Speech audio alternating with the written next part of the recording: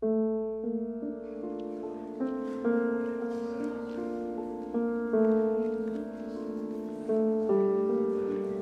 regisseer opera's, maar ik regisseer ook muziektheatervoorstellingen. Dus deze voorstelling past daar goed bij.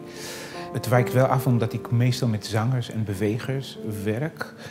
En hier zijn het muzici. Het is niet de eerste keer dat ik dat doe, maar het is altijd wel een enorme uitdaging. Um, en gewoon heel interessant om te kijken wat zijn de mogelijkheden van de muzici en hoe kan ik eigenlijk de concentratie dat zij hebben als ze spelen, dat is wat mij heel erg interesseert.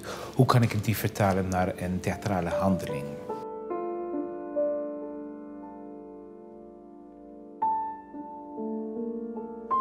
27 mei is een heel bijzonder concert met uh, stukken die niet vaak gespeeld worden.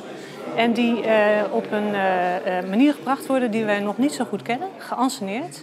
Dus er is een regisseur bij betrokken en die zet de muzici niet alleen als muzici in, maar ook in een ansenering. En het voegt dus iets van diepte toe, spanning. Het wordt heel mooi, denk ik. Ik denk dat het interessant is om te zien hoe, hoe muzici dus zonder instrument samen een nieuwe balans vinden op het podium. Een andere balans vinden op het podium, omdat ze ja, letterlijk van hun instrument los zijn.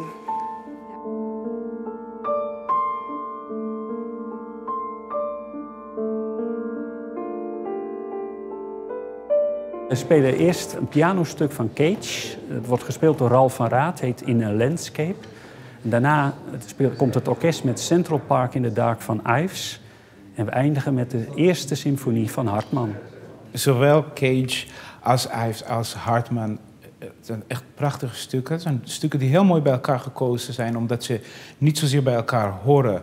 Maar als je ze achter elkaar hoort, krijg je een een zeer specifieke ja, gevoel. Ik, ik, voornamelijk de overgang van Cage, wat, wat bijna een soort van Debussy postromantische stuk is, naar Ives, wat ook nog een beetje in de romantiek gegrond ligt, en dan naar Hartman, wat dat donkere van de 20e eeuw, dat, dat pessimistische van de 20e eeuw eigenlijk al in zich heeft. De combinatie van de drie raakt een hele mooie um, historische overzicht eh, misschien van de eerste helft van de 20e eeuw, maar voornamelijk een soort van emotionele overzicht.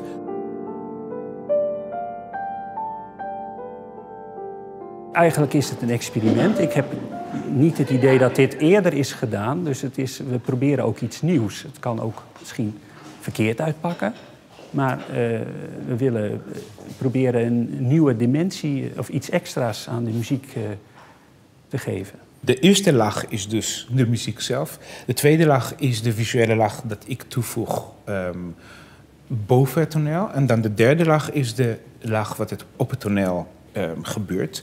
Dat zijn we dus nu ter plekke aan het creëren. Natuurlijk heb ik ideeën van welke kant het op moet gaan, maar ik moet het gewoon met de muzici verschillende dingen proberen om te kijken wat voelt goed en wat voelt niet goed. Dat ligt in hele simpele dingen. Gewoon op toneel staan en alleen maar naar elkaar kijken heeft een bepaalde concentratiekleur. En die moet passen in de muziek en in de beelden die er aan toegevoegd worden. Dus daar blijven we hier in de repetities zoeken naar wat en hoe.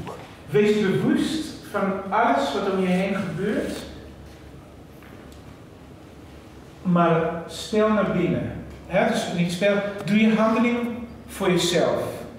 Alles naar binnen, heel introvert. Het thema van de voorstelling is het idee van uh, de nazistaat. Een staat die zichzelf definieert aan de hand van een uh, nationaal symbool, een vlag bijvoorbeeld. Waardoor eigenlijk de identiteit wordt gedefinieerd aan een externe factor, aan iets die in mijn ogen niet persoonlijk is, maar symbolisch is. En alles wat van buitenaf naar de groep kijkt, wordt meteen gezien als bedreiging. En daardoor ontstaan andere natiestaten en daardoor ontstaan ook nationale spanningen, wat vaak gewoon ook tot oorlog leidt.